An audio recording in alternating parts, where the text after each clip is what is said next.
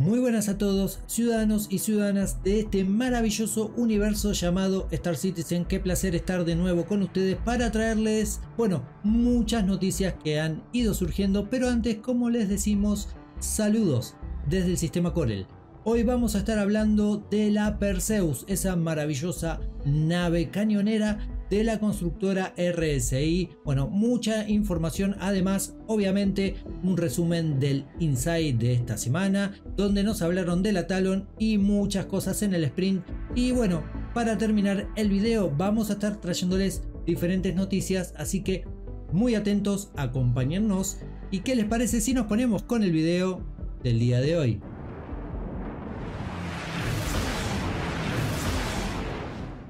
Bueno, arranquemos con la Perseus. Nos dijeron que esta nave, como ya te he contado antes, se encuentra en concepto. No verá la luz del verso muy pronto ya que aún no ha comenzado su desarrollo.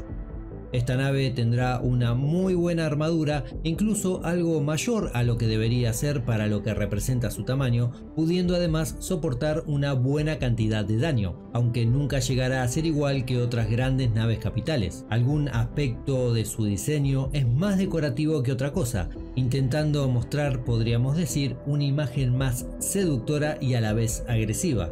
Ya más adelante en el desarrollo se verá de aplicarle alguna modificación o mejor dicho darle algún uso específico a ciertas partes de la nave agregándole sensores u otras características. También respecto a su diseño nos cuentan que no podría ser utilizada para embestir a otras naves a pesar de su forma y la imagen en la que la vimos casi atravesando una Hammerhead. Digamos que solo fue un poco de marketing bélico ya que no es una nave hecha para ello. Respecto a sus enormes cañones de tamaño 7, bueno, esperan que se muestren efectivos ante naves de igual o mayor tamaño. Podría asimilarse a lo que suceda cuando una Ares impacte con su arma de tamaño 7 sobre zonas precisas de sus presas. Estas armas causarán un daño, no podría decirse devastador, pero sí bastante importante. La Perseus no fue pensada para llevar un Ursa Rover consigo, pero pensaron que esto iba a dar una idea a los jugadores de la capacidad y espacio de carga que tendría. En su interior esta nave no tendrá armería ni zonas de enfermería, como tampoco lugar para transporte de tropas porque bueno, no es una nave que haya sido pensada para ello. Nos comentan que la nave fue ideada para un papel diferente al de los antes nombrados y este papel o función es el de ser parte de la defensa de una flota. Tendrá dos entradas, una será por el portón de carga y la otra se encontrará detrás de este. Respecto a su velocidad, bueno, la misma está fijada en 92 metros por segundo por su tamaño y masa, pero será ajustada a medida que su desarrollo vaya avanzando. A diferencia de otras grandes naves, en la Perseus, el piloto podrá manipular torpedos como así también otros puestos que se encuentren en el puente de mando, desde los cuales también se tendrá acceso a las armas. Muy importante, Aquí en la Perseus, al igual que en otras naves que van a llevar torretas tripuladas, como por ejemplo la Retaliator, por citar alguna, las Blaze o los NPCs serán una opción para manipular las torretas de la nave, pero lógicamente la eficacia no será la misma que si las manipuláramos nosotros mismos. Claro que como toda nave tiene pros y contras, y en estos últimos nos dijeron que el tener que enfrentar un escuadrón de cazas será una de las grandes debilidades que presente la Perseus, ya que a pesar de contar con torretas, estas serán lentas en cuanto a movimiento por lo que no llegarán a ser lo eficaces que bueno, pueden llegar a ser las situadas en una Hammerhead, nave que sí está hecha para dar este tipo de batallas en el verso.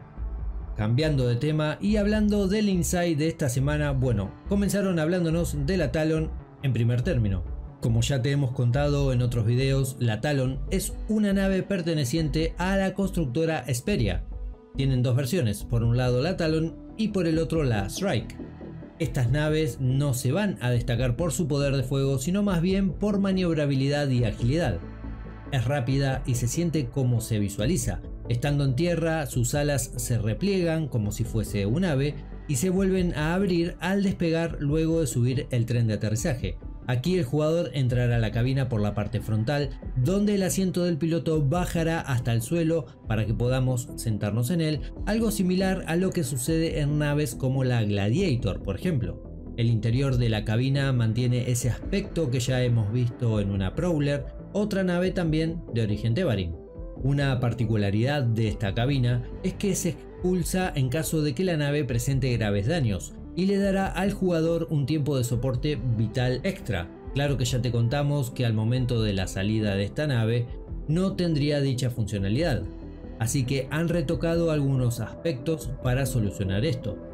La Talon tendrá un nuevo shader que se utiliza por primera vez en Star Citizen y convierte la pintura de la nave en iridiscente, por lo que veremos un brillo especial en su pintura como así también diferentes gamas de colores. Esta nave verá la luz del verso muy pronto en el parche 3.12. En el sprint semanal nos muestran en primer término un arma que llegará en el parche 3.12 también y es la ametralladora liviana Bearing FS9.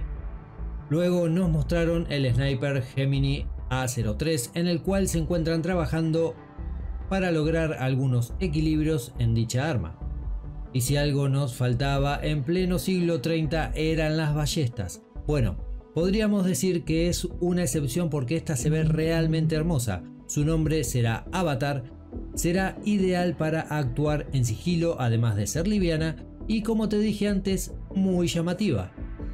Están trabajando para crear diferentes accesos a componentes, tales como coolers, motores de salto u otro, en este caso sobre la Gladius.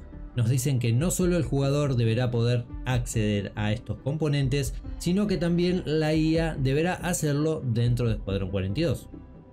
Nos mostraron la hermosa Redeemer, sus interiores y cómo va quedando este diseño previo de la nave perteneciente a la constructora Aegis Dynamic. Recordemos que actualmente se encuentra en la etapa de White Box.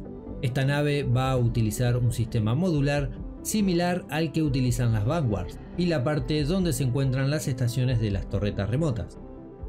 Luego sería el turno de mostrarnos la tecnología SDF aplicada sobre los escudos de las naves. Bueno, nos aclaran que esto se encuentra en pleno desarrollo y siguen haciendo pruebas aún. Con los viejos escudos no teníamos idea quizás en qué parte nos estaban generando algún tipo de daño o atacando.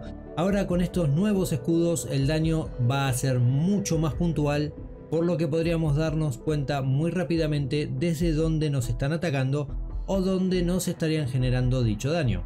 Además están probando diferentes colores para dar con el adecuado en cuanto al efecto que produce el daño en el escudo.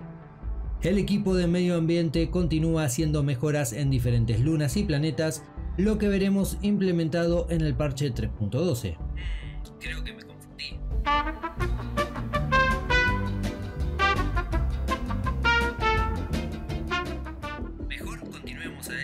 Allí estarán interactuando los mapas de altura, el nuevo generador de sombras orgánico, texturas de suelo que han sido escaneadas para una mayor fidelidad y una biblioteca geológica que ha crecido en el último tiempo de una manera muy importante. Además han estado trabajando en la flotabilidad de objetos, como estás viendo. Con esto van a generar misiones que incluso deberán llevarse a cabo debajo del agua. Sí, como me oís, debajo del agua. Olvídate de su náutica, esto es Star Citizen. Estas misiones van a ser para recuperar una caja o quizás, bueno, del tipo investigación. Esto también se encuentra en desarrollo y lo que vemos solamente es una prueba que han realizado. Sí, ya sé que estás pensando, quiero ese patito. No, por favor, no. Han mejorado el bioma sabana en Houston para sentir una experiencia más realista al caminar por ella. De a poco van encontrando el punto de flexibilidad que buscan en la hierba y con ello se acercan más a su publicación. Por último, nos mostraron algo más de los nuevos puestos avanzados que siguen en fase de exploración y desarrollo buscando las mejores implementaciones para estos sitios. Algunos interiores ya se encuentran en White Box. Realmente tengo muchas ganas de ver algo diferente en cuanto a este tipo de construcciones y esto será, bueno, magnífico en cuanto al aspecto visual que continúa enriqueciendo día a día Star Citizen. En cuanto a noticias rápidas, te contamos que ya están los regalos para suscriptores de la tienda de RCI del corriente mes. Recibirán las armaduras Overlord, las cuales pertenecen, según nos dicen, a un grupo de vigilantes pertenecientes al sistema Pyro. Los modelos son Predator, Stinger y Switchback. También tendrán acceso durante todo el mes de diciembre al Grey Cat Rock, ese vehículo minero que fácilmente vas a poder llevar en naves como la Kuldas, Freelancer o la flamante recientemente estrenada Nomad, entre tantas otras, claro. Y con dicho vehículo vas a poder minar en diferentes lugares y con él así acrecentar tu fortuna personal. La nave del mes de noviembre fue la Origin M50, por lo que durante todo el mes de diciembre si sos suscriptor vas a poder comprarla con algún descuento, así que si estabas interesado, atento a ello. En otro orden de cosas, y como siempre, Cloud Imperium Games está en lo importante, o sea, recaudar, obviamente, anunciaron que Star Citizen será compatible con Toby A. Tracker, por lo que SIG se ha asociado con la empresa Toby, bueno, esta empresa digamos líder en cuanto a tecnología de seguimiento ocular. Con esta tecnología vas a poder trasladar los movimientos de tus ojos a la pantalla de Star Citizen el costo de este producto será de 200 euros.